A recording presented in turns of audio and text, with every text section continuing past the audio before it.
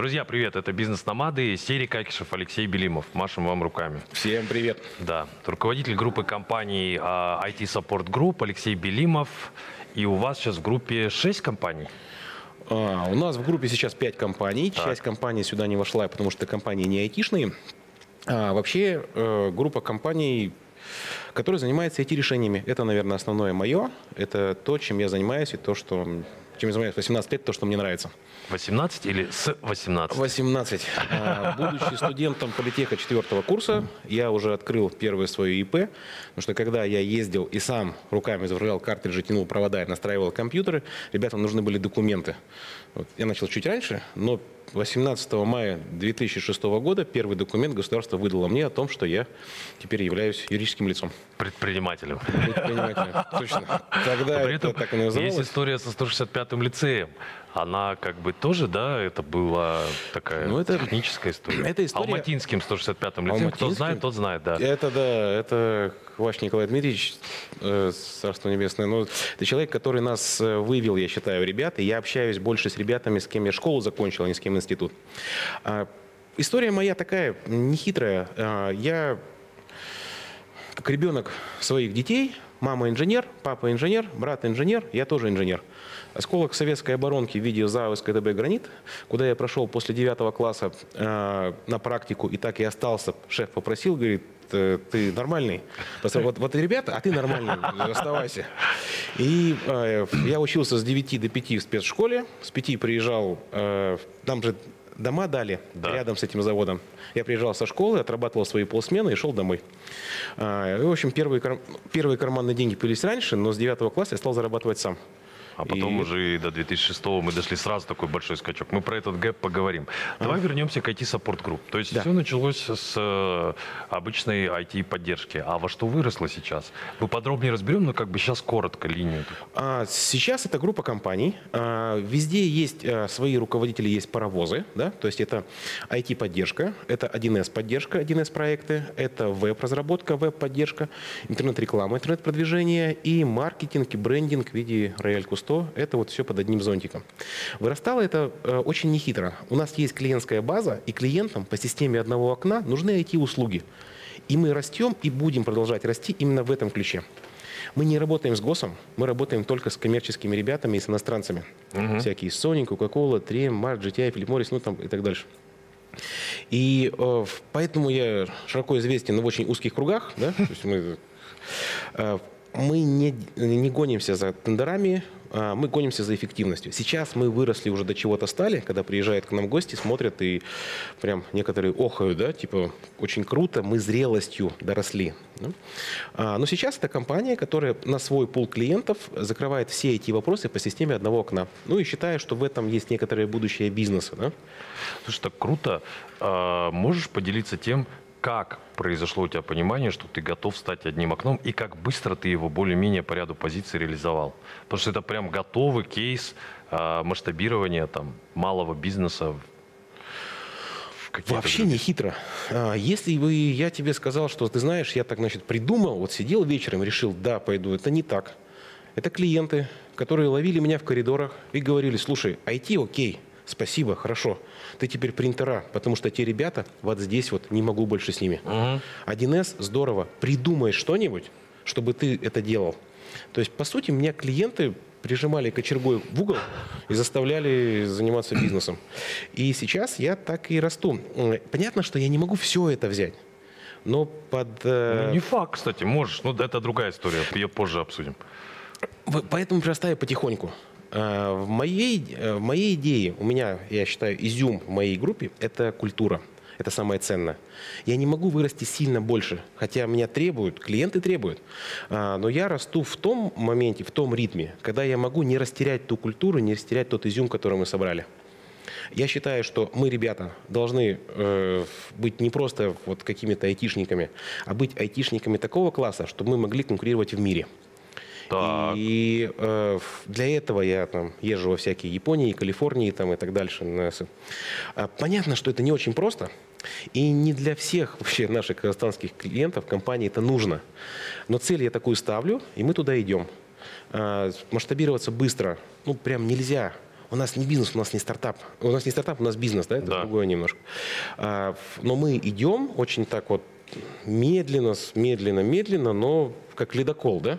Ну, дойдем до самого центра Северного Ледовитого океана. Ты знаешь, так получилось, что за последний период а, в бизнес-медиа, бизнес-намады мы больше говорили не о бизнесе, а о стартапах и венчурной индустрии. Поэтому я очень рад, что наша встреча состоялась, потому что в нашем слогане все-таки вдохновляем бизнес и стартапы. Поэтому твоя история – это реальная история вдохновения.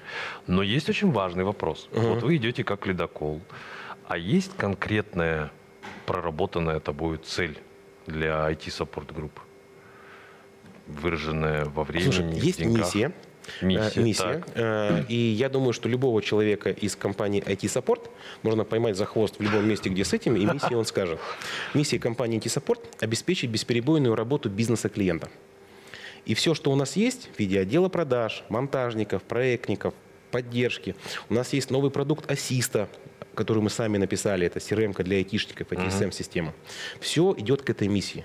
Обеспечить бесперебойную работу офиса клиента. А если мы говорим про цели, которые, ну как, больше там, скорее меня как человека драйвят, да? И, и вообще, что я делаю? Да.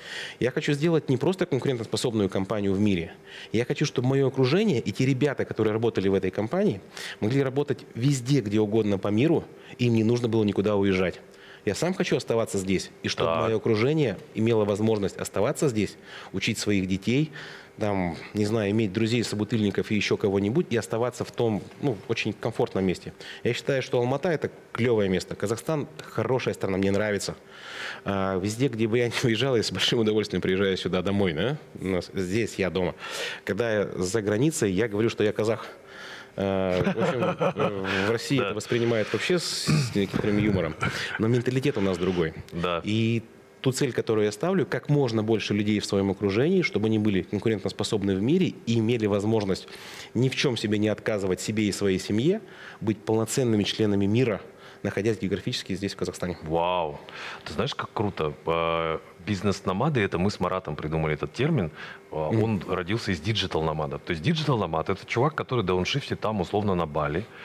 И, или диджитал-номад – это человек, которому физически не надо. Но бизнес-номад, вот Илон Маск – это там один из самых главных бизнес-номадов современности. Он ножками, он реально же по всей земле перемещается. В Австралии движуха, туда-сюда. И мы считаем, чтобы бизнес рос, ты должен. Вот Тати Шефиркин, яркий пример. Вьетнам строит завод, они там в джунглях ходят с людьми, э, местный вьетнамский бешпармак там кушают, общаются, чтобы понимать. И круто, что ты говоришь именно... Я считаю, что это бизнес-номадство в рамках одной страны тоже возможно. Я считаю, что если мы здесь правильно все организуем, Так. то выходить дальше именно в нашей айтишной теме, в digital, не обязательно ногами выходить. А, Да. Опыт Калифорнии, ну, вот то, что вот попутешествовал, посмотрел, показывает, что э, ребята... Ой, блин, анекдот, не могу. Давай, это, да? не Что можешь такое- не рассказать, что- да. что- что- Ты знаешь, что такое индустриализация? Так. Мне в Калифорнии рассказывали. Знаешь, что такое индустриализация? Ну, я там, это переход... Подожди, не-не-не, индустриализация это другое. Это когда индус первый заходит, и у него получается, и он всю свою индийскую компанию тащит. Это индустриализация. И в Калифорнии индустриализация, она там повсюду, да? То есть там очень много индийцев, Да. которые тащатся.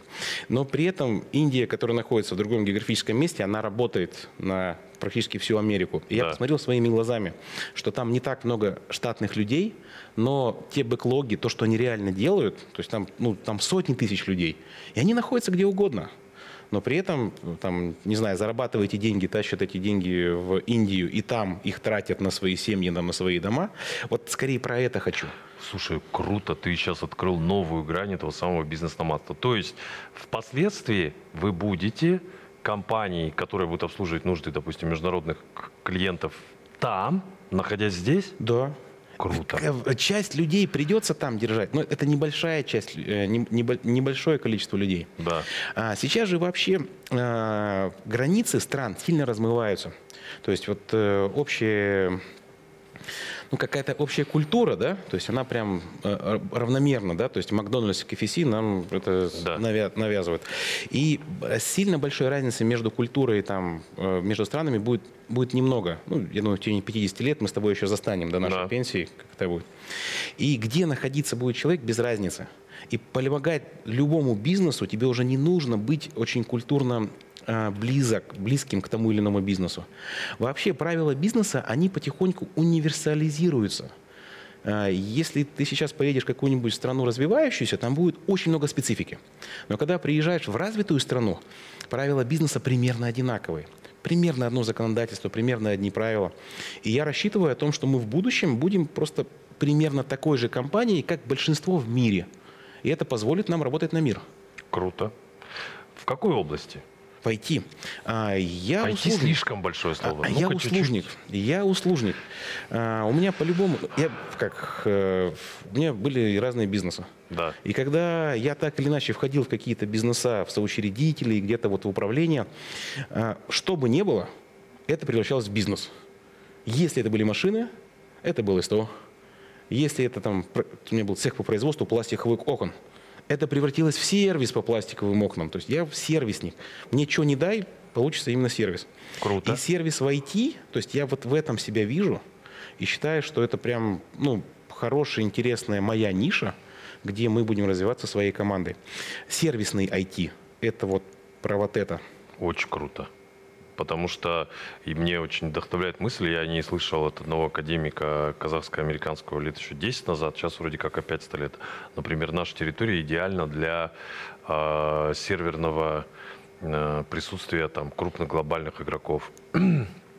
Физических, железки. Потому что там Не температурно, кабеля прокинут. Не соглашусь с тобой. Политически мы такие более-менее. Нет? А, ну, прости, я айтишник, Ну, конечно, я не могу. нормально, ты А, должен. понимаешь, а, Мы за этим и количество пришли. километров очень критично. Да. И мы здесь, казахи, в этом плане плохо, а, плохо расположены. А, то есть даже наличие Алмата и Астана, то есть если ты говоришь про серьезную инфраструктуру, Да. нужно и действовать дата-центр и в Алмате, и в Астане. Ну вот э, это не больше, да, то есть есть э, вот, эти, вот эти расстояния, они очень критичны. И поэтому нельзя дата-центр там э, из какого-нибудь из какой-нибудь Англии положить в Казахстан. Для бэкапа можно.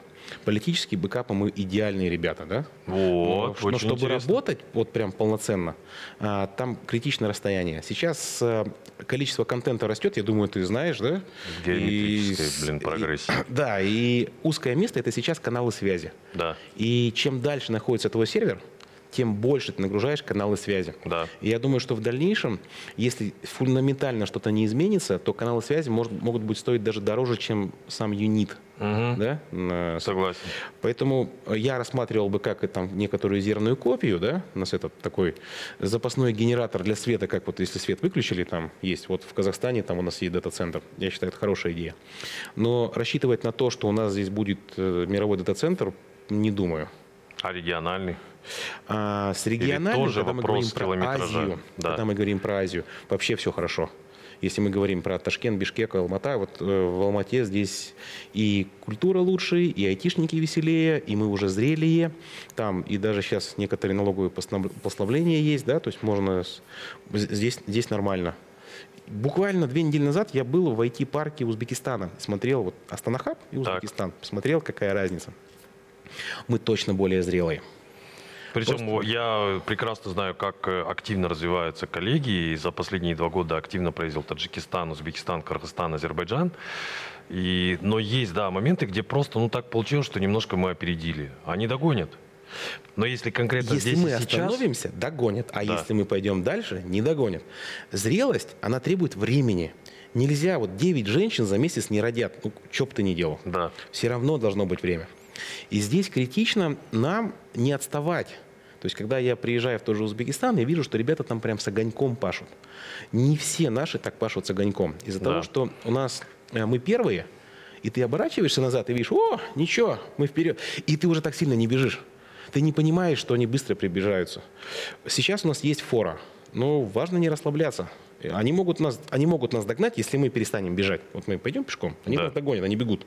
да. А если мы пойдем развиваться дальше, они нас не смогут догнать, потому что мы, у нас много форы, да, то есть мы сильно вперед пошли. Давай об одной другой интересной. У нас столько тем сегодня для обсуждения. Ты- Мы когда э, с Лешей сели такие, что, час? Э, Может, два? Как пойдет? Ну, как пойдет, да. Значит, При этом есть другая штука, да, там есть э, шоп, есть э, сервер-мол. Да. То есть э, электронная коммерция получается по Как, факту. как получилось? это? Да. Как получилось Shop и Server Mall? Кстати, А. важная ремарка. Все ссылки на все проекты и наших гостей всегда в описании к этому аудио и видео. Ну, вы это и так знаете, но напомню. Ага. Да. А, как получился Shop и Server Mall? Shop – это B2B-шный магазин техники. Мы не продаем для э, конечных, ну, B2C, это Для чисто розницы, B2B. да. А, проблема у наших клиентов. Ребята находятся в Кызылорде, и им нужно 28 пунктов разных собрать, консолидировать, подумать, что не забыть туда там не просто принтер купить, а еще шнурок от него. В комплекте никогда не идет шнурок USB-шный. Мгм. То есть и вот отослать в Кызылорду, чтобы это заработало. Мы на основании этого сделали такой магазин. А, И он скорее помощь нашим клиентам существующим, которые уже работают у нас или которые там хотят с нами поработать, которые хотят отдать запрос и не, вот, не лезть туда внутрь. Так получился шоп. А сервер мол это вообще отдельная тема. Это рефербушер серваки. Это серваки, которые были в Европе, в Америке в лизинге. Потом мы их сюда тащим. Они в два, иногда в пять раз дешевле, чем новые. Потому что мы же как живем? Денег нет, но вы держитесь. Да. А, нужно, а железо нужно, Да. потому что прочислительные мощности. И мы притаскиваем сюда эти серваки, даем от себя 5 лет безусловной гарантии. Если что-то вылетит, мы сами за свой счет меняем. И тем самым помогаем нашим, ну, не огромным бизнесам. Банк не купит железо, которое было в употреблении. А бизнес, который вот там еще, может, не самый Денежку крутой бизнес. считают сильно, да, Да. очень внимательно. И вот мы, это ответ на этот запрос. И я считаю, что это крутой ответ. Мы вот с этой гарантией... Плюс иногда- один клиент. Спасибо, да. А, Я даже не уверен, что мы там прям пипец космо, как выйдем за, за продажи, но поддержать наших ребят, вот я считаю, это, это основа. Именно про эту поддержку, чтобы ребята могли опереться вот на нас прям на, ну, железобетонно и на это железо, и уже не думать про... Бизнес должен думать про бизнес, а не про IT. IT – это вспомогательное производство любого бизнеса. Так прикольно. Идем дальше. И вот сейчас Айроса это не просто вопрос, там, почему вы занялись интернет-продвижением, но и подводка к следующей теме. Дорогие друзья, вообще мы... а, Андрюш Шахалов, большой привет тебе. А, Значит, Алексей в какой-то момент понял, что ему надо, как и мы в Бизнес-Амада год назад, мы должны Блин, это наша социальная миссия, несмотря на высокопарность этого термина, делиться теми знаниями, которые у нас есть. Алексей начал это делать, поэтому у него не просто там какие-то личные аккаунты, у него прям аккаунты, там, YouTube-каналы и так далее, где он пилит контент. Да, вот. да. А Айроса до этого родилась? Аэрос родилась до этого. Интернет-продвижение. Аэрос родилась до этого, когда а, я путешествовал по СНГ, да, то есть россиянами, белорусами, украинцами у нас были агентства, которые занимались нашей Тогда, еще рекламой. до войны. Ну, это было совсем до. Да. Это, ну, с- а, я надоело мне, и я понял, что мы тратим много денег, получаем мало толка. А, разный ментал. Ребята не очень углубляются, что происходит у нас в Казахстане. Как только ты заключаешь контракт с таким агентством, первые пару месяцев, оу, круто. И потом, та-да-дан, та-дан, та-дан. И в- мы организовали свое агентство. Я вкладываюсь в компетенцию этих ребят, ращу. И считаю, что мы по соотношению цена-качество можем дать прям очень конкурентную цену. Мы не говорим, что мы сделаем круче всех на свете, но мы сделаем по соотношению цена-качество оптимально. И это некоторая потребность наша, которая вылезла из текущей жизни, да, выкристаллизовалась. Да. И теперь сейчас нашим клиентам мы тоже предлагаем эти услуги. То есть такое, в смысле, полное, это 360 интернет-продвижение, что там и тебе, и всякие... Сейчас мы приходим к тому, что полное. Раньше это была просто поисковая реклама. Да. И там с, э, в середине, э, ну, формально мы запустили с 1 сентября SEO, но это будет чуть позже. Нужны другие специалисты. Мгм. Э, ну, мы наращиваем себе эту мышечную массу. Что... Это же критерий любой айтишного бизнеса, что ты от людей зависишь. Ты не можешь... Чуть откачусь давай. Разница Давай. между бизнесом и стартапом Да. в чем? О. Бизнес, бизнес, Ну, давай твоя он версия. растет, вот как я говорил, как ледокол. Стартап – это всегда иксовые темы. X2, X8, Да. X10. Да. Я не очень люблю. А, потому что она как вверх, так и вниз. Вот там, там эти бешеные скорости, да? Формула-1. Я езжу 40 по обочине. Я вот тошню. Мне так нравится. И бизнес, оно примерно так же.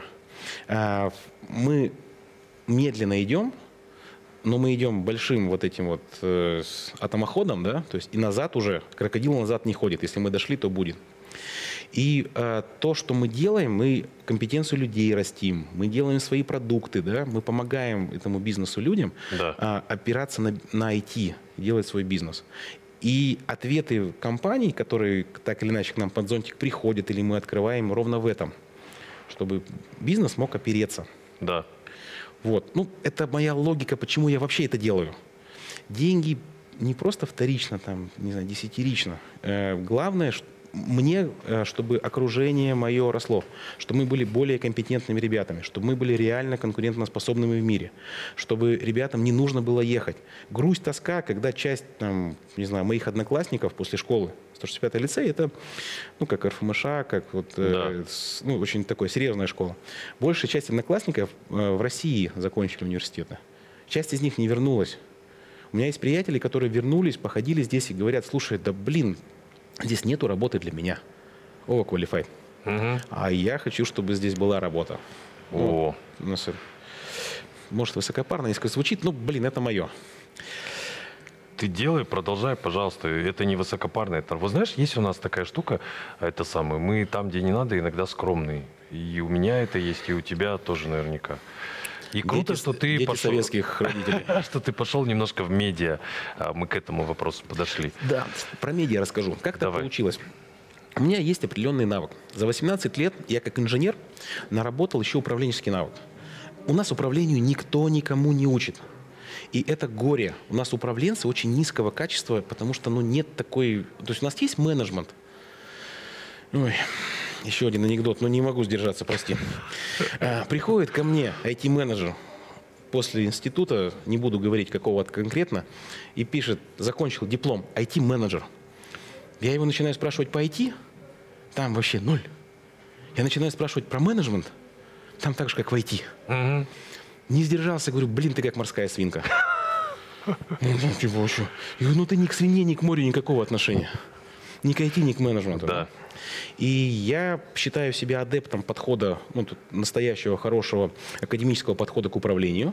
Так. И это прям очень нужная тема для нас. Я считаю, что любой человек должен этому учиться. Если ты про управление, а, ну, регулярно даже и управленческие поединки проводил там по Тарасову. по Я свою команду и других ребят прокачиваю. Нас даже а, не знаю, на правах рекламы, не знаю, Нормально хорошо или хорошо с это. Да. 22, 23, 24 будут проходить эти управленческие поединки. Сентября. Сентября россияне приехали сюда, потому что там есть обстоятельства, и они здесь это организовывают. И я тащу там просто всех, кого я смогу вытащить с работы, я притащу туда. Это то, когда ты, ты все управляешь. Ты управляешь, я управляю. Ну, многие у нас управляют, Да. просто неосознанно. Для того, чтобы это было осознанно. И помимо того, что есть определенные знания в какой-то прикладной области, я знаю IT. Я, ну, я закончил лицей. Я знаю, что пи это не 3.14, а 3.14, 15 вместо 2.6. Мгм. По работе пригодится? Э, Нет. Но там учили так, что мне приходится да, знать. И я также подхожу и к управлению. Так. И считаю, что это вот серьезное горе наше общее, вот э, именно бизнес. Не стартапы тоже, но бизнес самый, он сильно больше мог расти, если бы академическое управление было бы лучше. И я открыл свой блог. Баба Белимбай – это целое, как, это медиапродукт, да? Да. То есть, где я делюсь своим управленческим опытом, есть вполне конкретные кейсы, рассказываю, почему так или иначе принимаю то или иное решение, записываю лонгри, э, лонг, и не как, э, назовем видео, да, так, да. подкасты. А, Хочу делиться, понимая, что то количество информации, то, что я знаю, меня иногда распирает. Вот, чтобы не грузить не знаю, свое ближайшее окружение, потом мы выходим на шашлыки, и я начинаю ребята управление учить, да? Да. Они там типа, да потвали, чтобы как-то самореализовывать Понятно, себя. что люди сейчас пойдут э, смотреть, но все-таки здесь немножко что-нибудь там. С чего начать?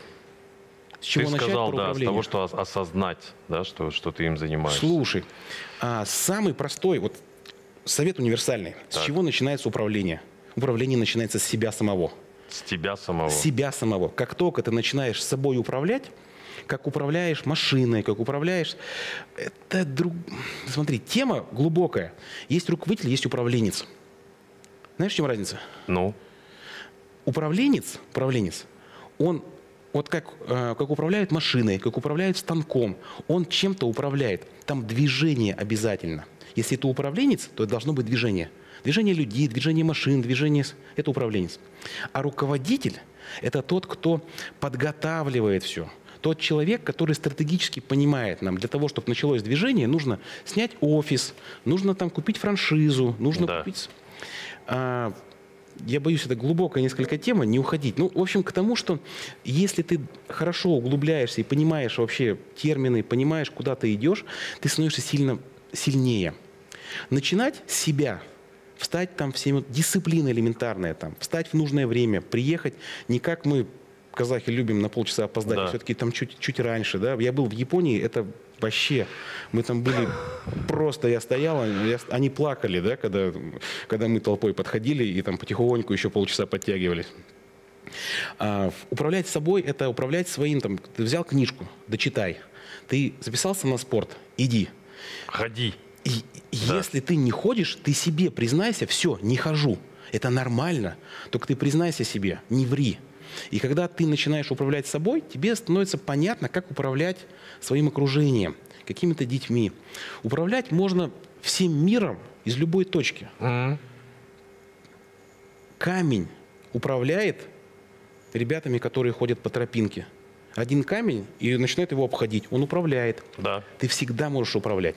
Начни с себя, осознай, где ты собой управляешь, и потом иди дальше. Ну, это вот самый базовый, базовый Круто. рекомендация. А дальше смотрите на... Как еще раз название канала? А, бабай Блин, блинбай. Бабай да. Замечательно. А, давай сейчас к одной очень интересной вещи, а, потому что ты прям ножками этот путь прошел и продолжаешь идти. А, я хочу делать что-то свое, или я хочу с работы уйти в какое-то свое дело. Понятно, что к этому должна быть, наверное, некоторая предрасположенность там и так далее. Но не всегда. Вот как первые шаги сделать? Смотри, Неважно, что. вопрос зачем? То есть нужно Молодец. вопрос с точно. этим. Да. Если у тебя нет ответа на вопрос «зачем?», то э, вся дальнейшая механика, она не имеет смысла. Как мы организовывали бизнес, почему мы приходили в бизнес, ну вот в, там, в момент э, моей, когда я был молодой, красивый и не женатый, почему я пришел в бизнес? Потому что когда я работал на заводе, я хорошо работал, я знал монтажник радиоэлектронных приборов шестого разряда, я знаю, как это делается. Но на зарплату, которую там платили, мне хватило, вот я мечтал купить хорошие кожаные перчатки, вот в 16 лет мне нужно было, еще 15 мне тогда было, да, и вот вся зарплата на перчатки. Ты не сможешь на это жить. И приходилось открывать, придумывать. Если бы меня откатить, вот, вот, вот те знания, которые сейчас есть, откатить меня 15-летнего там, или там, 20-летнего, когда я начинал с, этим заниматься, не факт, что я бы занялся бизнесом. Это очень сложная штука Да. очень нервная. Ты э, первые пять лет, когда ты открываешь свой бизнес, ты берешь раскладушку, ставишь ее в офисе, и здесь ты пять лет спишь, живешь, чтобы бизнес за- завертелся, да. Стартапы, может, по-другому, я в них не умею, я в бизнес. Да? Нормально. Вот, ну, нужно вот так.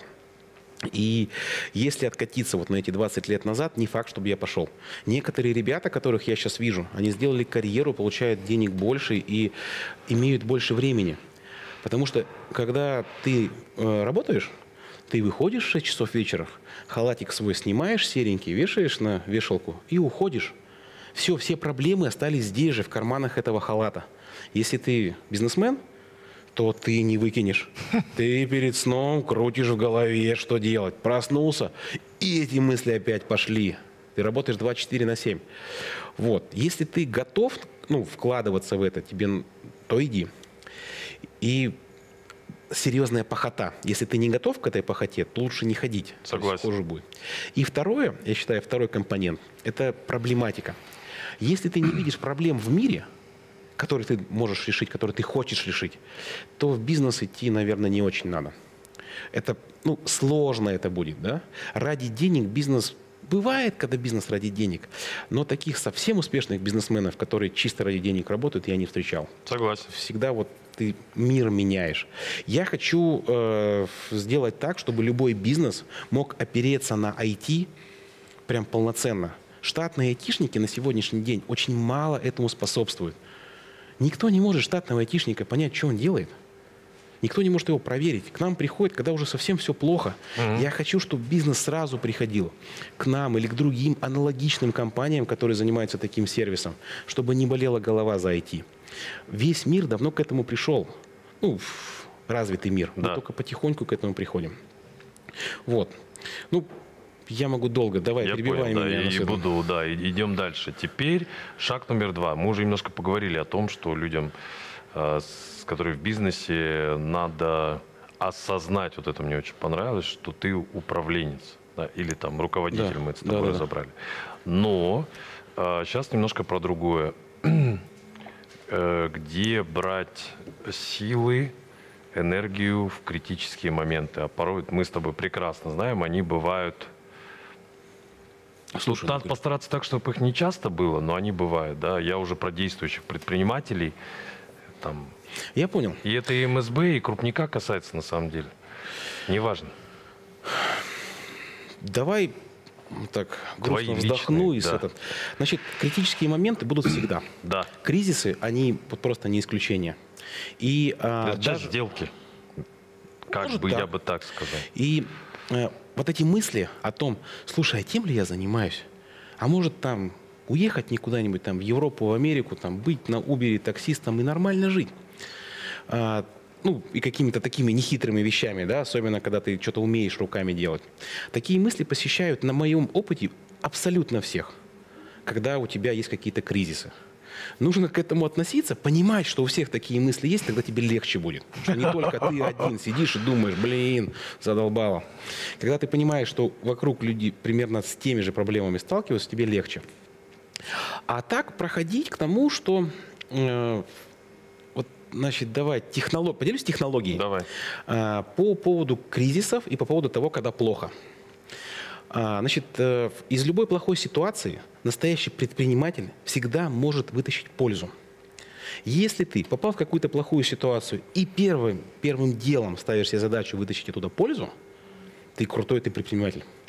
Ты опоздал на поезд, ты сидишь на чемоданах и смотришь, как уходят вагоны, все, нету ты опоздал на следующую встречу, ты, ну, вот, ну, горе же, да? Да. Если ты в этот момент можешь понять, э, прямо осознать о том, что, слушай, ну в этом городе остались точно ребята, с кем можно встретиться.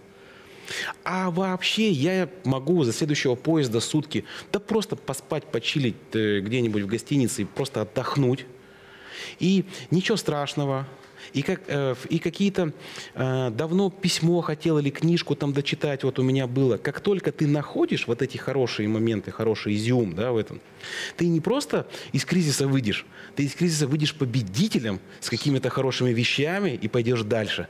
И за счет этого бизнес растет. Всегда из кризиса выходишь более сильным.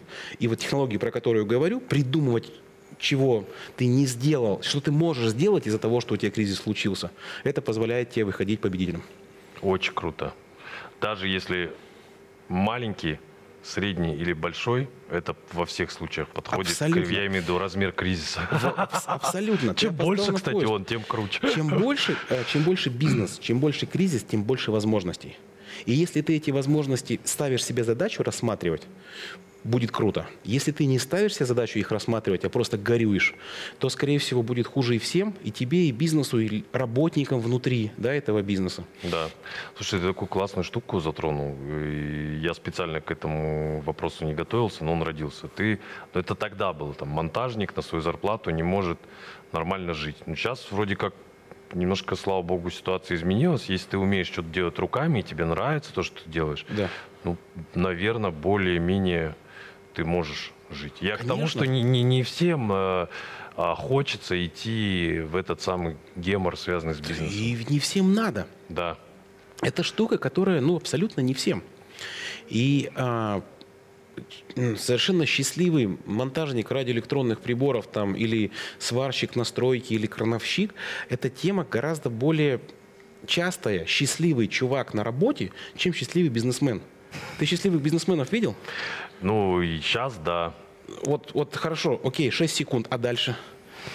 Вот какой-то момент, да, клево, но буквально несколько секунд, и ты дальше начинаешь, потому что у тебя нельзя останавливаться. У тебя нет возможности вот там передохнуть, да? Ты должен идти Ну, вперед. э, ты, ты просто такой, ты как раз, вот тут важная ремарка.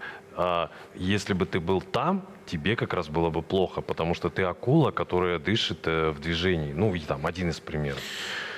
Не факт.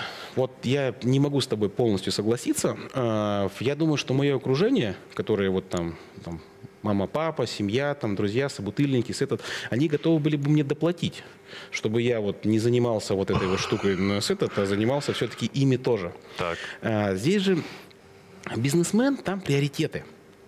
И вот вы собираетесь на шашлыки, и у тебя случается какой-то серьезный факап на, Где-то на, там, на- на да. бизнесе, да.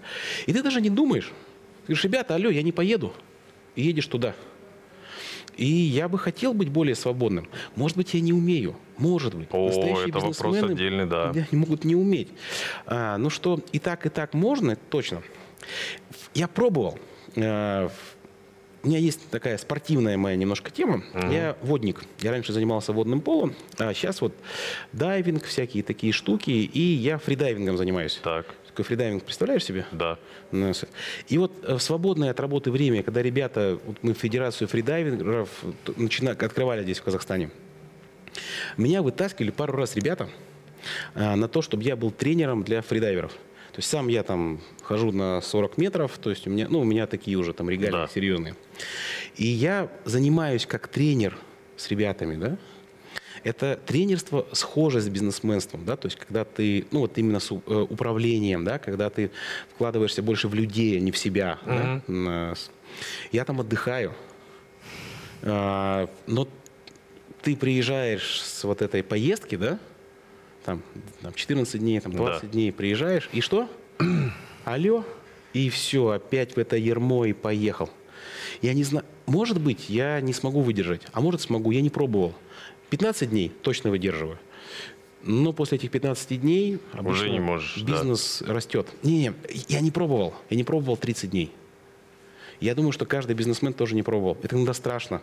Если бизнесмену сказать, все, мы у тебя все забираем, давай. Я думаю, что большинство не согласится. Страшно. Да. А как ты относишься к этим а, штукам? А давайте-ка я вас научу, как уйти из операционки. Такой Блин. вопрос, а? Слушай, а, здесь Это а, большой вопрос. Есть у меня много слюней, в большей степени матершинные. А, Значит, э, вообще инфо-цыганство, да, О. это вот вообще большая тема. И Кстати, 90 это бизнес-номада, антитеза инфо-цыганству. Мы про это несколько раз говорили. Мы когда садимся, мы э, от А до З вопрос условно стараемся разобрать. За это денег не берем с аудитории, но берем со спонсоров нашего там подкаста, которые хотят доступа к этой качественной аудитории. Вот это здесь там часть бизнеса. И разобрать так, чтобы каждый человек мог это сделать. Разница в чем? Почему я вот в это управление иду? Так, э, в том, вот как я, э, как я говорю тебе, именно академической теме. Чтобы когда я показываю какой-то фокус, ты взял, сделал то же самое, у тебя получилось. Это разница научно-ненаучно. Когда ты что-то э, ну, говоришь, как делать, другой человек собрался и сделал. А, Бабка Гадуни так не получится. Она Да. как-то раскидалась. То есть, и инфо-цыганство сильно критичного. Когда ты можешь сделать, взять ту технологию, ее разложить, и так же получится. Это уже не совсем про инфо-цыганство. А, ну вот я считаю, что инфо-цыгане это ребята, у них, у них есть плюс, они дают серьезного пинка, чтобы Мгм. человек встал. да. Но дальше им у нас на дверях было написано а, распространители и бизнес-молодость не беспокой. То есть это вот у нас... Выйти из операционки – это некоторая мечта, которая, по мне, осуществляется с тем, когда бизнес растет. Когда твой бизнес растет, когда ты становишься более зрелым, когда твоя команда может взять на себя ответственность, Да. ты выходишь из операционки, они тебя выталкивают.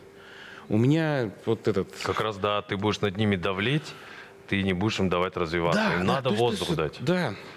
Э, Этот, хотел простите, передать привет Диме. Да. Да. Буквально позавчера говорил, Алексей Юрьевич, ну езжайте куда-нибудь.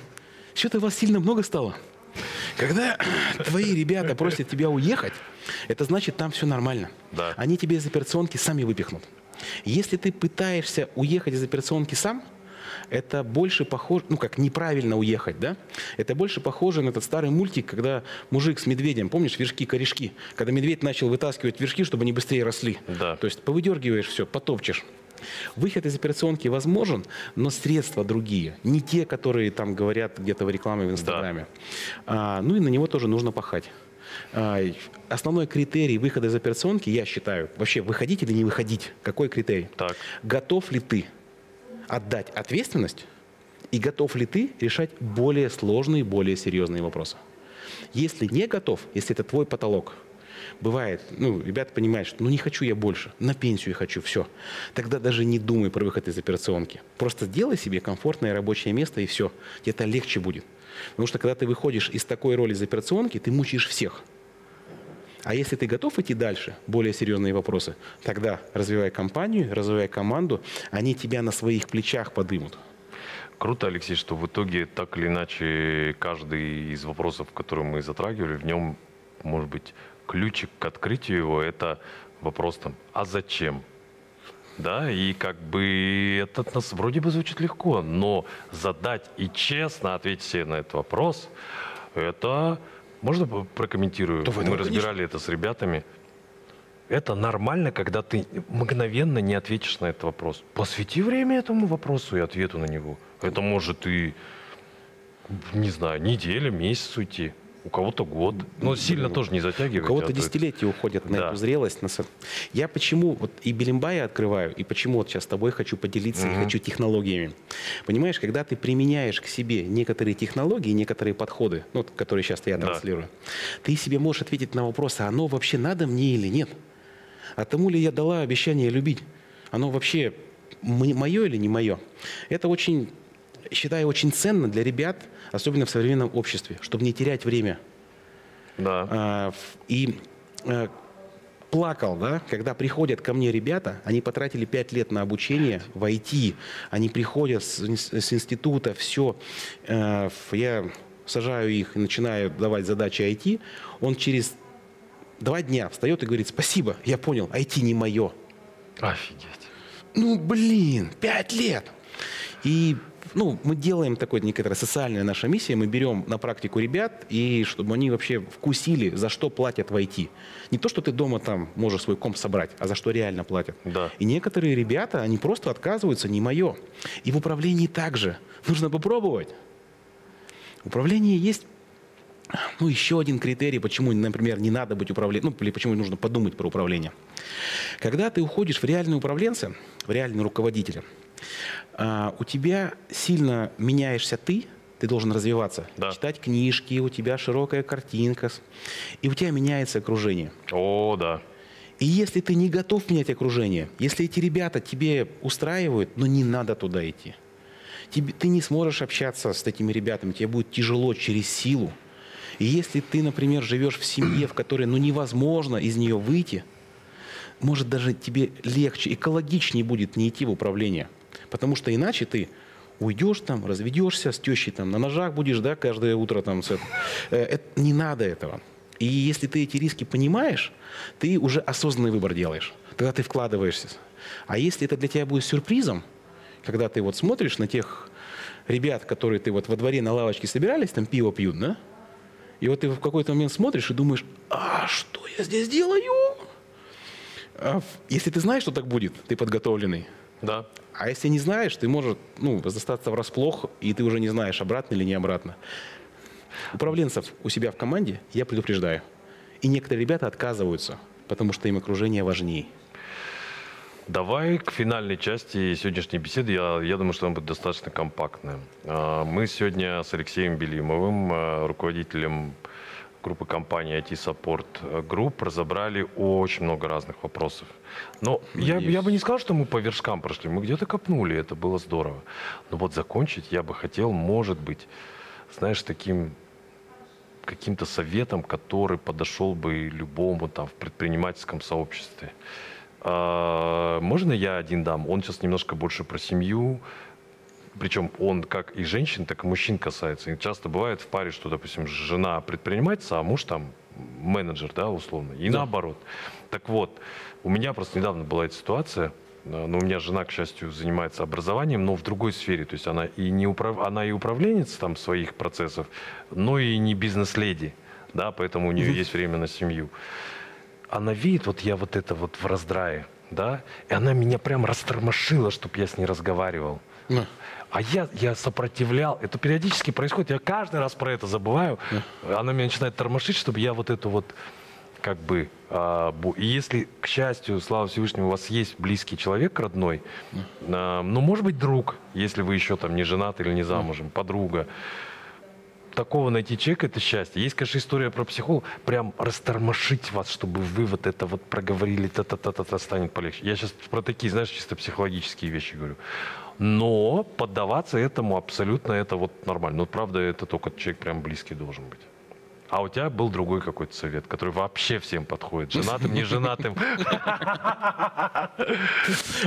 И на нем давай закончим не знаю.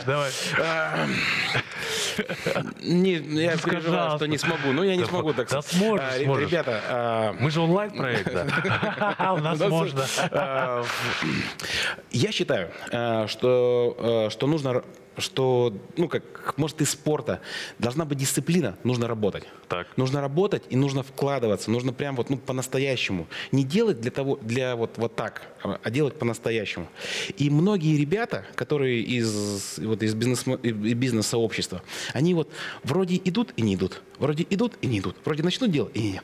Я, ну, скорее призываю всех, я скорее призываю всех, да, ребята, Вот смотри, вот, вот эта камера, Вот это. которая вот огонек Да. говорит, да. Ребята, по-настоящему, пожалуйста, решили что-то делать, делайте. Крокодил назад не ходит до последнего. У вас точно получится. Получилось у меня, получилось у тебя, у каждого из вас получится. Ребята, мы вас не бросим. Бизнесменское сообщество. Точно. Спасибо, дорогой. Спасибо. Спасибо.